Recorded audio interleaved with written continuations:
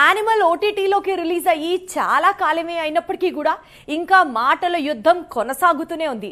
ప్రముఖ రచయిత Javed అఖ్తర్తో and Animal cinema director Sandeep వంగాతో ఇంకా మాటల యుద్ధం ఓ రేంజ్లో కంటిన్యూ అవుతూనే ఉంది. ఆ డీటెయిల్ స్టోరీ మీకోసం. లాస్ట్ ఇయర్ డిసెంబర్లో రిలీజ్ అయింది యానిమల్ ఇప్పుడు మార్చి కూడా వచ్చేసింది. ఇంకా ఈ సినిమాపై వివాదం కొనసాగుతూనే ఉంది. తాజాగా Bollywood screen writer lyricist Padma Shri Padma Bhushan award గ్రహీత జావేద్ అఖ్తర్ సినిమాపై మరోసారి విమర్శలు చేశారు.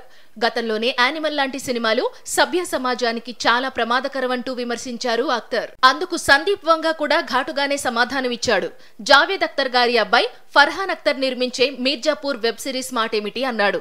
ప్రపంచంలో బూతులన్నీ మీర్జాపూర్లోనే ఉన్నాయి అంటూ స్పందించాడు. ముందు మీ కొడుక్కి సంస్కారం నేర్పండి అన్నాడు. అఖ్తర్కు వంగ కౌంటర్ ఇచ్చి చాలా కాలమే అయింది. ఇంతకాలానికి మళ్ళీ జావేద్ అఖ్తర్ కౌంటర్ అటాక్ చేశారు. తన కెరీర్లో ఎక్కడా ఒక్క అసభ్య సన్నివేశం కూడా చూడలేదని అందుకే సందీప్ తనని కాకుండా తన తనయుణ్ణి టార్గెట్ చేశాడు అన్నారు. అయినా మీర్జాపూర్కు తన తనయుడు కేవలం కో ప్రొడ్యూసర్ మాత్రమే. అయినా ఇదంతా ఎందుకు?